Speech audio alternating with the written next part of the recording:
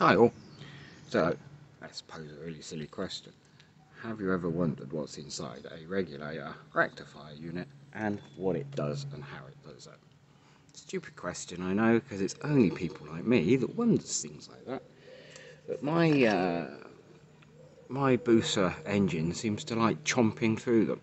I've used original Suzuki ones, I've used cheap replacement ones, and I've used expensive replacement ones. And I now have about four or five different ones that are all various states of blown up.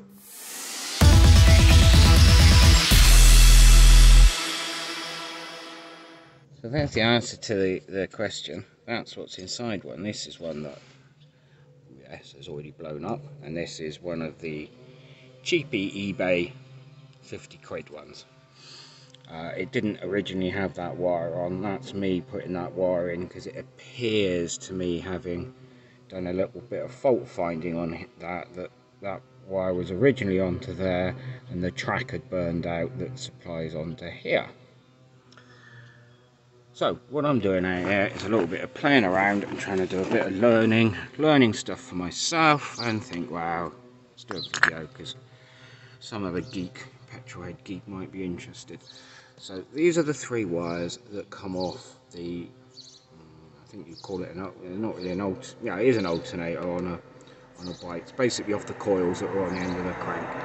So these we will see an AC on that is the battery one. So first I'm going to do is just, I've got an oscilloscope on my laptop, which hopefully I'll sort out a way of being able to see on here. And we'll have a look what goes on. That's of the one channel down to earth. And you can see it moving around as the tick over changes. I'm on times 10 at the moment, so that's kicking out about 30 volts. What I'm going to do is check across all three and see they look roughly the same. I've already found this, so going across all three, one of them is only kicking out about 12 volts, the other two are about 30, uh, which is strange. What I'm going to do is check resistance across all three, with obviously the engine on. I'm going to do this one-handed, so across two coils, I've got about half an ohm resistance that's pretty well the same on all of them. That's the uh, suspect one, 2000 RPM. That's one of the higher ones.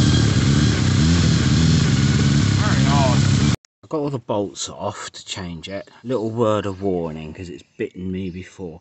So remember there's a sodding great magnet on the end of the crank which is trying to pull that in all the time.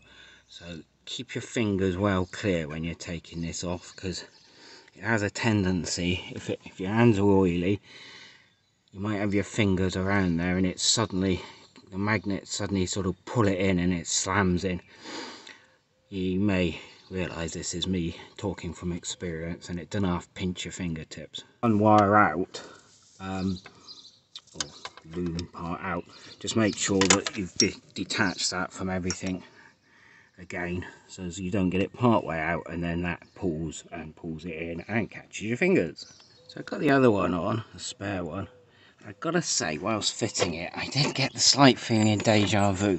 Now I don't know if that's deja vu because I've fitted these things a few times you know when having engines apart and all that or I actually swapped them over at some point because I found the same problem on another generator anyway what I'm going to do is hook it up to the oscilloscope again and see what happens and that might answer my question. So I've got the same across all three now which is pretty good news and I am wondering that mismatched output might have been screwing up rectifier units.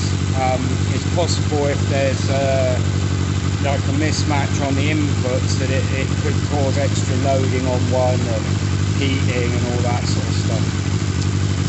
Anyway, apart from knocking over my cup of coffee, which anyone who knows follow this channel, cups of coffee are pretty important to me. I'm a pretty happy lad at the moment, so I'm now going to start putting this together one section at a time, measuring all this, because I will use this video for my own kind of reference as well. So if I have any issues again, I can look back at this and hopefully see how it was when it was working and then work back. Check the new regulator, I've just lashed up the inputs and put my multimeter on the output and you should see a nice clean DC on there. The output voltage seemed a little bit high to me. It is on no load, uh, which is obviously going to make quite a difference. I just looked in the uh, good old Haynes Bible, it's saying 13 and a half to 15. So, um, let's see what it is on load, but I want to test out my possibly fixed one first because although I think the electronics in this are the same because this is a cheapie um, what I'm thinking is if this is now working I'm going to modify that to make it a bit more robust. Before I start the engine that's ambient temperature. Running for a few minutes now, it's warmed up a bit but nowhere near as much as the other one did so I assume that there's still either my bodge is uh, causing heat in that one or there's some other failures in there. I think I am going to build a new one though and use this heat sink.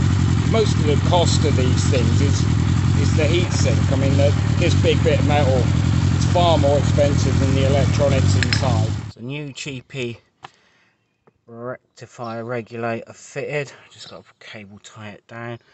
Uh, and when connected to the battery it's giving a nice 13 and a half volts out. So fingers crossed. I think I should rebuild the other one um, make it more, more robust.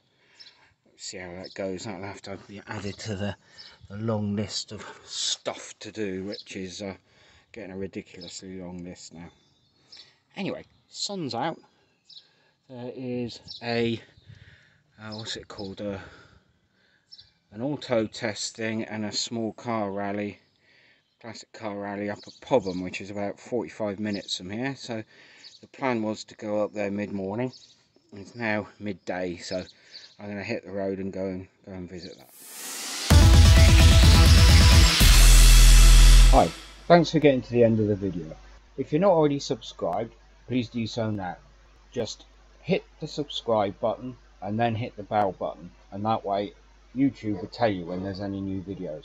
We've got some big plans ahead for the channel, including possibly a car build from scratch. So if you want to get involved with that, now's the time to subscribe. Cheers then, bye.